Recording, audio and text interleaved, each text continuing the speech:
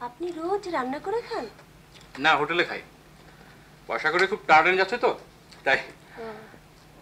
আমার দারিদ্রের কথাটা ইচ্ছে করে বললাম কারণ দরিদ্র পুরুষ মানুষের প্রতি মেয়েদের এক ধরনের করুণা হয় আর করুণা থেকে আসে ভালোবাসা।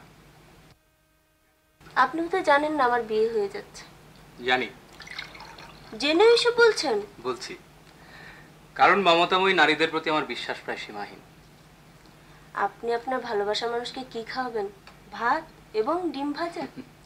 দিন কি আর এরকম থাকবে না এই দিন তো দিন নয় আরও দিন আছে। এই দিনের নেব আমি সেই দিনের কাছে। কীভাবে নেবেন? ম্যাজিক দেখিয়ে? ভালোবাসার মানুষ পাশে থাকাটাই সবচেয়ে বড় ম্যাজিক।